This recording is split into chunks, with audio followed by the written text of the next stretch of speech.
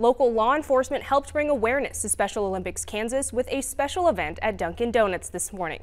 Law enforcement torch run partners like the Shawnee County Sheriff's Office were at all participating Dunkin' locations across the state to raise awareness and collect donations. The Cops at Donut Shops event is held annually to ensure all law enforcement partners can help athletes with intellectual disabilities reach their full potential in all sports.